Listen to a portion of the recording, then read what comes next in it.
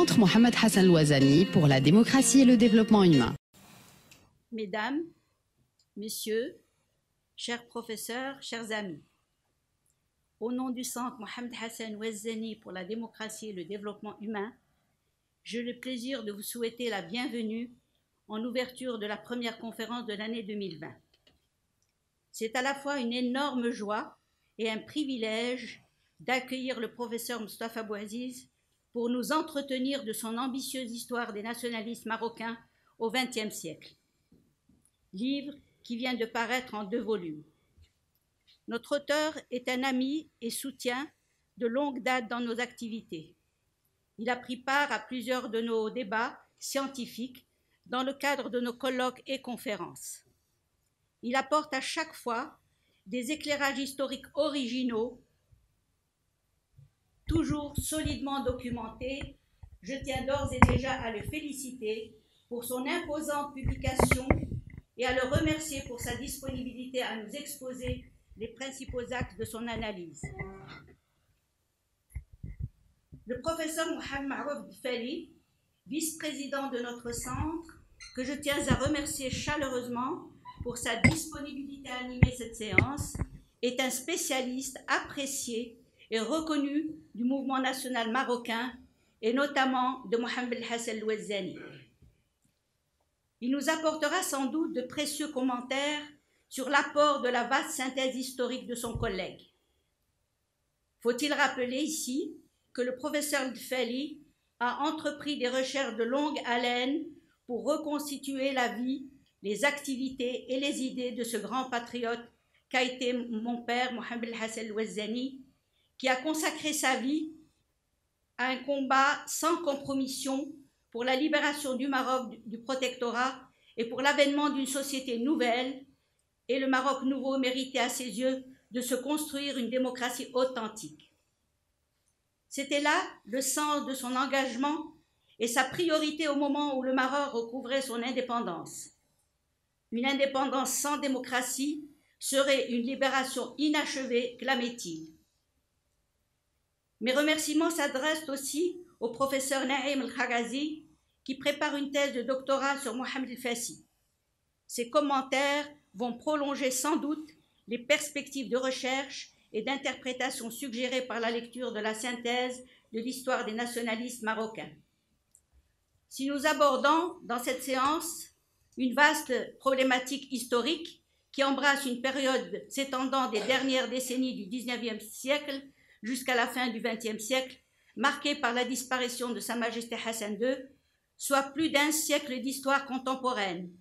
Elle n'en est pas moins très spécifique, puisque l'étude présentée porte sur les, les origines, les développements et les idées qui ont marqué ou accompagné le mouvement national marocain. Une telle réflexion, menée ici, répond à l'un des objectifs de notre centre qui s'est proposé dès sa création a contribué à stimuler des interrogations et des études nouvelles sur l'histoire du Maroc, tant sur le plan des événements et des dynamiques sociétales que des idées et des perceptions individuelles et collectives.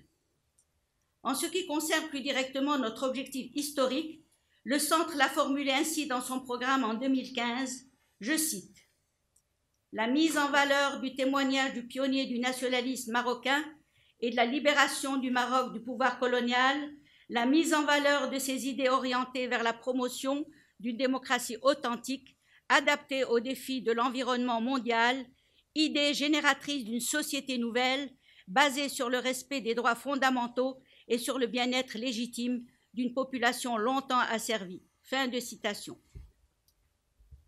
Dois-je rappeler ici que mon père, quelques années avant la fin de sa vie, s'était investi de toute son énergie pour rédiger ses mémoires. Ces textes ne seront plus publiés en six volumes sous le titre Hayat wa Jihad, Mémoire d'une vie et d'un combat qu'après son décès. Mais je puis témoigner qu'il répétait souvent, ayant assisté à une instrumentalisation de l'histoire des des fins politiciennes, qu'il avait l'obligation morale d'éclairer le plus objectivement possible le peuple marocain sur les événements non seulement qu'il avait vécus, mais surtout sur ceux qu'ils avaient contribué à provoquer. C'est dans la préface de ses mémoires que Mohamed Hassan Ouazzani expose les nombreuses raisons qui l'ont poussé à écrire l'histoire du mouvement de libération nationale marocain.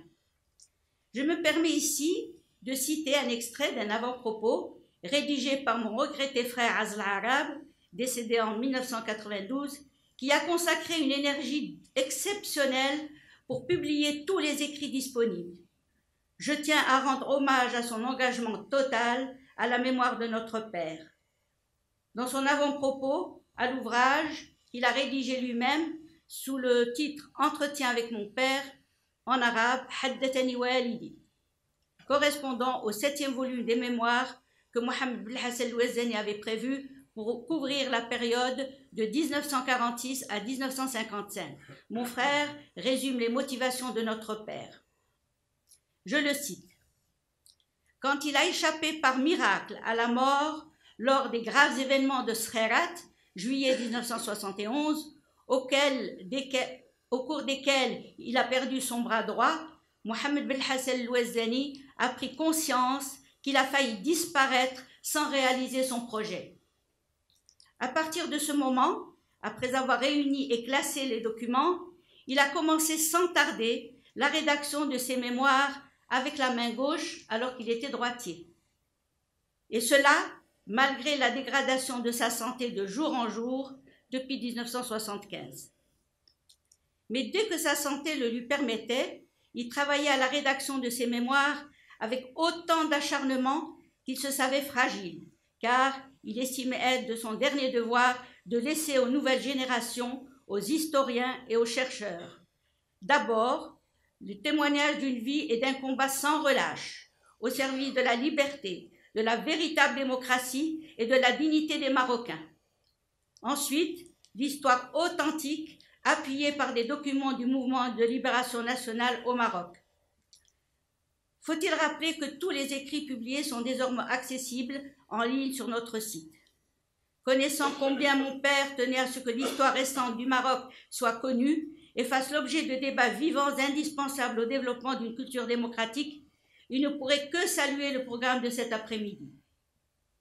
Il est certain que nos trois éminents historiens, professeurs et chercheurs vont nous apporter des éclairages intéressants qui nous permettront à notre centre et aux participants de nourrir les débats et les analyses que nous avons lancés depuis la création de ce centre en 2015, dans le but de relever des défis essentiels que toute société et que tout État doit affronter pour s'affirmer dans un monde en perpétuelle évolution. Autant dire que les intervenants de ce jour, ainsi que les participants, vont contribuer à alimenter nos objectifs et à les prolonger. Je tiens encore à les remercier au nom du centre, de notre centre, créé en hommage à mon très cher père, pour qu'il soit un lieu de débat libre et constructif. Selon nos pratiques, à l'issue de l'exposé, tous les participants sont invités à prendre part au débat. Je tiens à signaler que l'exposé et le débat sont enregistrés et seront prochainement disponibles sur notre site web ainsi que sur YouTube. C'est la raison pour laquelle il est important que les intervenants annoncent leur identité, nom et titre ou fonction pour que les auditeurs puissent mieux saisir les interventions. Notre centre nous propose ces publications que vous pouvez vous procurer ici même. Nous sommes aussi une association dont vous pouvez devenir membre. Une modeste cotisation donne ainsi droit à acquérir gratuitement nos publications annuelles et à prendre part à nos activités.